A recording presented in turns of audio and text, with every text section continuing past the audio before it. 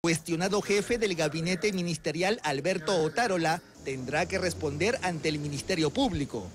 La Fiscalía de la Nación inició diligencias preliminares contra el primer ministro como presunto instigador del delito de negociación incompatible y como presunto autor del delito de patrocinio ilegal, debido a la contratación irregular de Yaciré Pinedo Vázquez en el Ministerio de Defensa.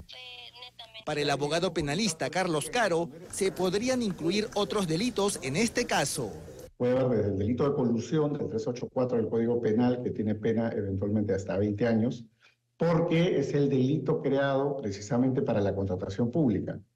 El segundo delito que se puede investigar es tráfico de influencia, que tiene pena de hasta 8, y sanciona eh, tener injerencia dentro de un proceso administrativo y ofrecer, digamos, este tipo de injerencias. El experto mencionó que para pasar a la segunda etapa de la investigación se necesitará el visto bueno del Congreso, debido al beneficio de antejuicio político que tienen todos los altos funcionarios. Solamente puede llevar adelante la investigación preliminar y si cree que tiene un caso, lo que podría ocurrir en unos ocho meses hasta el fin de año, tendría que pasar el caso al Congreso de la República mediante una denuncia constitucional para que allí se analice y ver si corresponde dicha acusación, en cuyo caso la Fiscalía podrá continuar hacia la etapa de investigación preparatoria.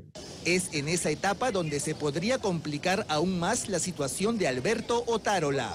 Es en la preparatoria donde puede imponerse medidas gravísimas como una prisión preventiva o medidas intermedias como un impedimento de salir del país.